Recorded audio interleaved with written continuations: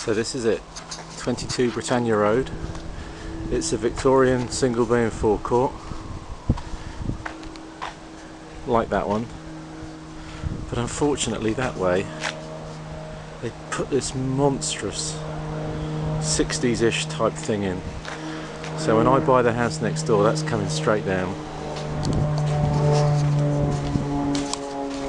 So it's a house with two floors at the front and three at the back. Um, here's the front room. I spent loads of time in here. The floorboards have been up and gone back down again. Treated for woodworm. There used to be a fireplace right there. Horrible 30s thing, that's out.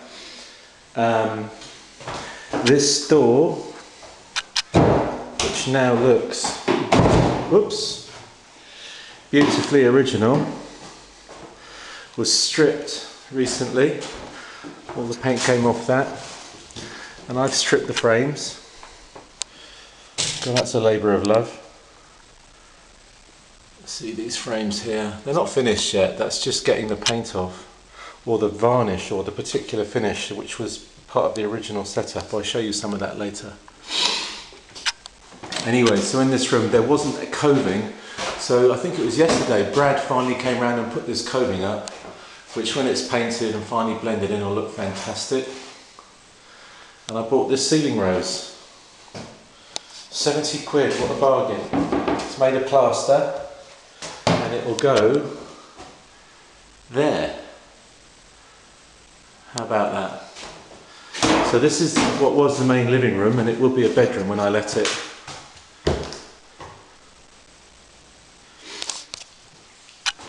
Can't wait to get the bloody carpet down in this room. That's the rest of the house that way. We'll go up the stairs later and then down to the kitchen later. Probably up the stairs first, but first of all, this is the second reception, which will also be a bedroom when I let it. This had the original coving in, so I didn't have to do anything, and it had the ceiling rose. But another disgusting fireplace from the 30s in there, which has since been removed. So right now, this is in use as my office. There you go. And there's a little peek into the garden. Hmm, garden, well it's a yard really. So, yeah, I'll go into the front room. These skirting boards, well you can see how high they are. It has been said that the higher the skirting board, the more wealthy the property in days gone by. Well, that's a seriously, healthily high skirting board. It must be at least 15 inches. And it's not made of wood. It's either plaster or concrete, which has been fashioned. And these um, electrical sockets that you can see, they were actually proud. They were mounted in, into a box, proud of the surface. And it took a lot of effort to get the hole chiseled out of the plaster and then set these little mothers back into the wall.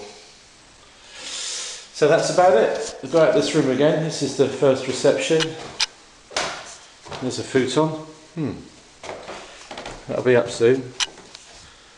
And there's the stairs to go up to the mezzanine. Okay, so let's go upstairs now. This is the cleanest the stairs have ever been. Here's my CD collection. It's been here since the day I moved in, looking for a home. Lots of important things in the bathroom. I know it seems strange. There's a boiler there. There's a hi-fi. Lots of stuff. It's where I dry my clothes.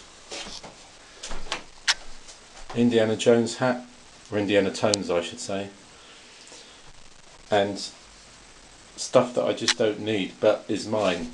Well I don't need. I don't need immediately. And then here's the bath and the shower. It's all going to change. And in the most ridiculous position possible the basin. Can you believe they did that? This stuff on the doors was put there when the house was built around about 1885 incredible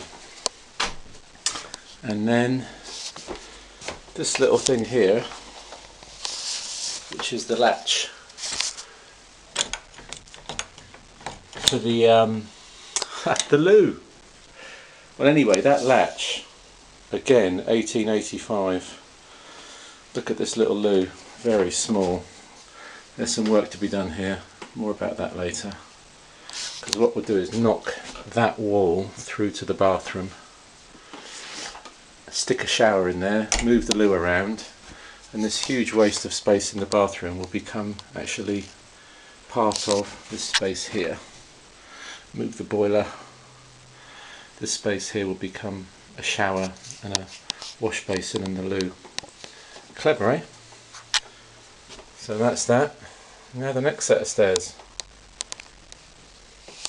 So this is the mezzanine floor, and then we go up to the first floor.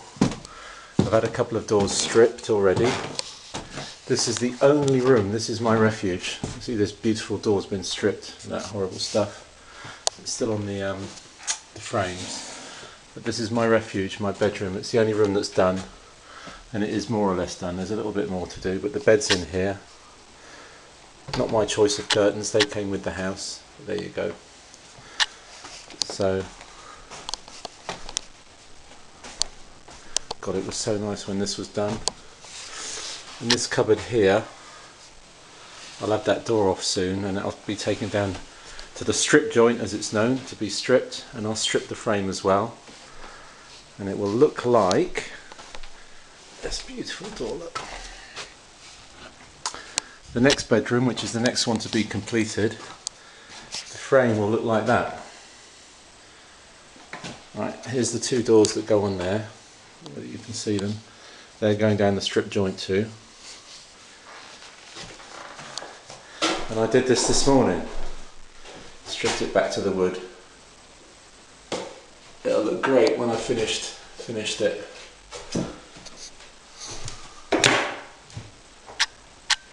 So there we go. This is the second bedroom, it's on the first floor. And here's a sneak preview of the garden and the yard. Well, the yard. Okay, so back out of this room. Another great door.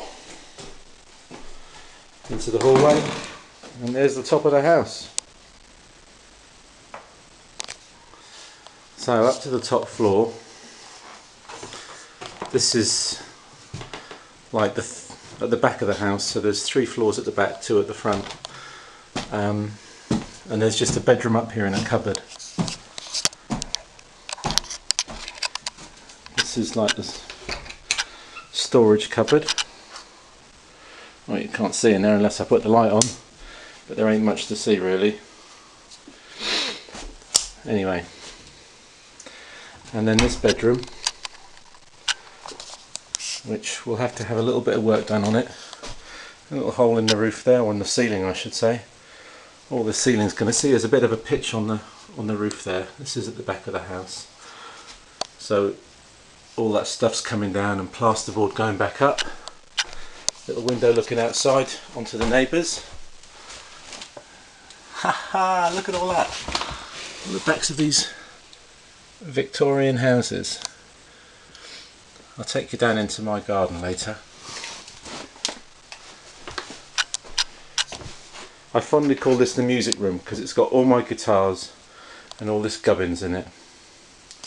Um, this room is not big enough to let, the man told me yesterday, unless I knock a hole, well there's various different options, but my preferred option is to knock a hole in this wall here, which will effectively make this cupboard that's out here part of this room and then it will be 6.5 square meters and then it will meet the requirements of the local authority. I don't mind doing that. Okay, I think we need a bit of garden. There we go.